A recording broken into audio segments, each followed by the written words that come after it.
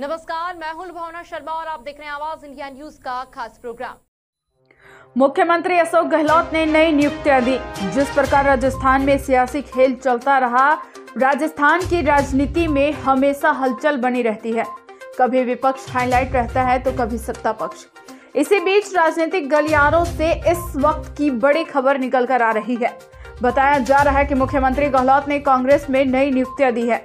आपको बता दें कि नई नियुक्तियों में से कांग्रेस के दिग्गज नेता राजेंद्र बिघुड़ी व पूर्व डिप्टी सीएम व कांग्रेस के कदावर नेता सचिन पायलट के गुट में से चाकसू विधायक वेद प्रकाश सोलंकी को भी नई ज़िम्मेदारी दी गई है।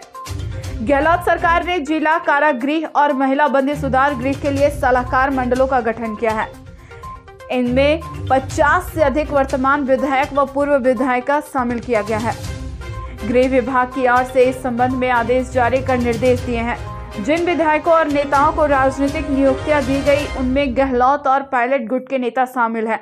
राजनीतिक नियुक्तियों की सूची देखने से साफ़ ज़ाहिर होता है कि सीएम गहलोत ने अपने कैंप के विधायकों के राजनीतिक नियुक्तियों का तोहफा दिया है।